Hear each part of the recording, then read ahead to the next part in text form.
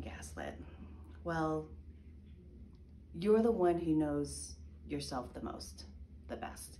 You know who you can be, you know what you're capable of being, but that one person that you're with is telling you that you're not.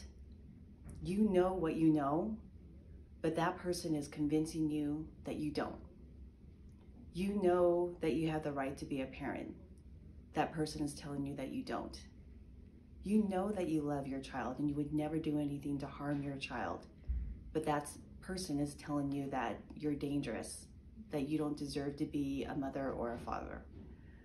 You know that you're smart.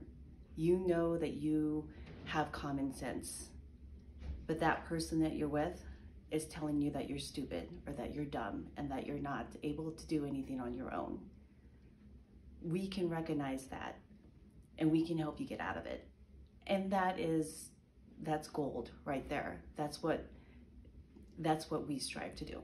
So, the one thing that we want our clients to always know is that you're not crazy.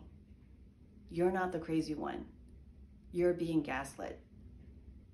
And it's not something that we label people as, it's something that we recognize and that we help people get out of. That's the goal.